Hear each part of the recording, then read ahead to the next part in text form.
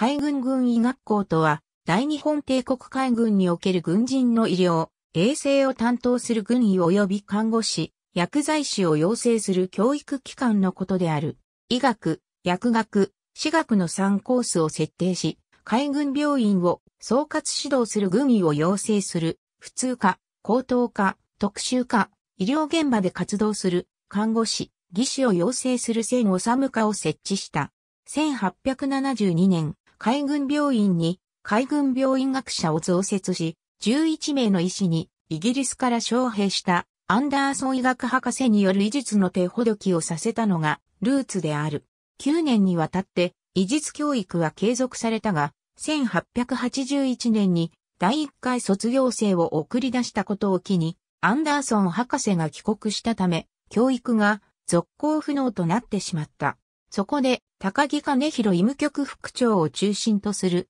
日本人医療スタッフが自ら教鞭を取り、翌年に海軍医務局学者を立ち上げ、10名の医師の指導を始めた。と同時に、軍医官委託学生制度を新設し、東京帝国大学医学部生7名を候補に挙げた。これが1886年に海軍医学校と解消された。解消とほぼ同時に芝山へ移転。海軍病院と離れてしまったため、臨床実験や実習は隣接する東京慈恵医院の協力を得た。東京慈恵医院は海軍生徒として英国セントトーマス病院医学校で学んだ高木兼弘が松山宗庵と共に設立した医院であり、海軍とも関係が深い場所だった。1889年には特任されていた私費学生制度を全廃する一方、薬剤官候補生の実習を始めている。1894年3月に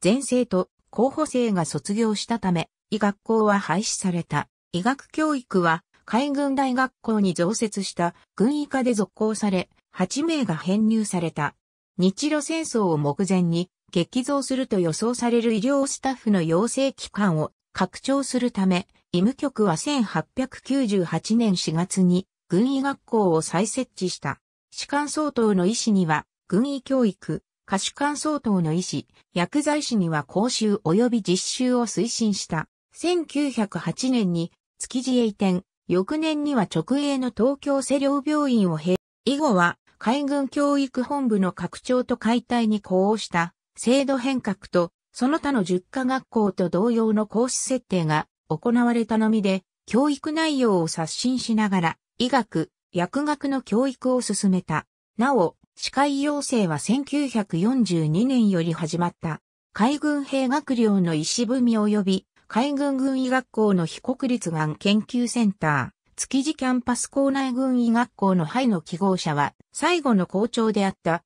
神林美春軍医少将戦治科は、可視官相当の軍医、議官が対象。細菌検査、レントゲン撮影、科学実験などの技師養成コース、軍医学校軍医学校。ありがとうございます。